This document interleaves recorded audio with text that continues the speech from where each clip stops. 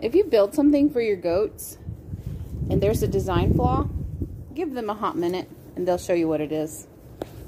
They always do.